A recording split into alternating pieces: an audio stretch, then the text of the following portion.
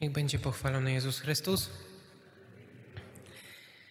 W związku z tym, że rozpoczynamy dziś Adwent, zapraszamy na mszę od poniedziałku do piątku o 6.45.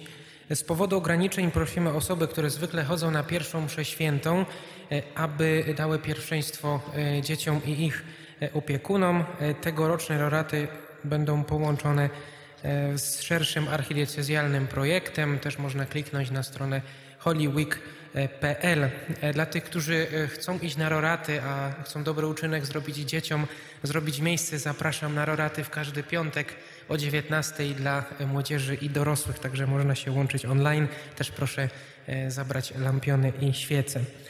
Opłatki oraz świece Caritas wigilijnego dzieła pomocy dzieciom można zakupić w niedzielę Adwentu po mszach świętych u pań zespołu charytatywnego w domu parafialnym.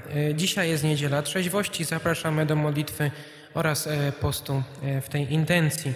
Kolekta dzisiejsza przeznaczona jest na cele parafialne, szczególnie na pokrycie kosztów ogrzewania. Bóg zapłać za ofiary. W poniedziałek o 19 zapraszamy na kolejną katechezę o Eucharystii. Link będzie podany na fanpage'u parafii. W tym tygodniu przypada pierwszy czwartek, piątek i sobota miesiąca. Zapraszamy do przystąpienia do spowiedzi i komunii świętej. Wszystkie nabożeństwa będą jak zwykle.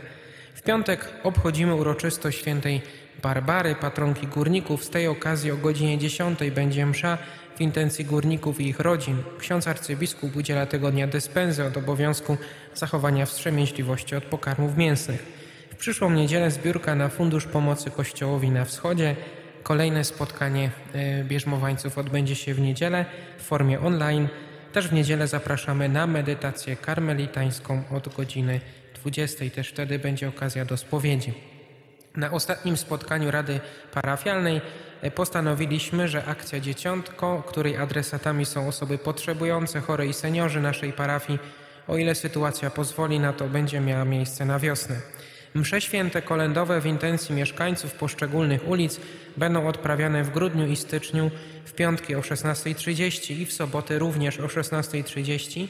Na koniec mszy będzie błogosławieństwo kolędowe. Zapraszamy przede wszystkim do uczestnictwa online. Na koniec mszy będzie błogosławieństwo kolędowe. Proponujemy, aby wcześniej zaopatrzyć się w pakiety, które od połowy tygodnia będą w kościele. Buteleczka z wodą święconą, tekst modlitwy, błogosławieństwo i kreda. W najbliższy piątek o 16.30 będzie msza w intencji mieszkańców ulicy Alojzjanów, a w sobotę w intencji mieszkańców Ludygi. Plan tych mszy jest na plakatach i na stronie parafii. Po niedzieli będzie jeszcze w formie biuletynu. Z powodu małej przestrzeni kaplicy adoracji chcemy częściowo przenieść adorację Pana Jezusa do kościoła. Będzie to możliwe, jeśli znajdą się chętni do cotygodniowego dyżuru od 15 do 17. Prosimy o wpisywanie się na listę, która jest na chrzcielnicy. W niedzielę udzielamy Komunii Świętej poza mszą świętą, po mszy o 12.30 oraz po mszy o 16.00. Odwiedzamy też chorych parafian z posługą sakramentalną po jedną, dwie osoby. Co sobotę o 7.30 prosimy o zgłoszenia na bieżąco. We wtorki i czwartki o 20.30 modlimy się w kościele Różaniec. Można się też łączyć online. Dziękujemy Paniom i Panom za sprzątanie naszego kościoła. W poniedziałki kościół sprzątają Panie. Obecnie są to tylko dwie osoby. Prosimy o pomoc, jeżeli ktoś jest chętny.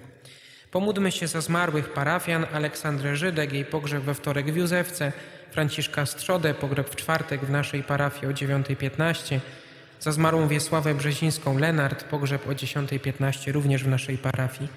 Wieczny odpoczynek racz im dać Panie. I odpoczywają w pokoju wiecznym.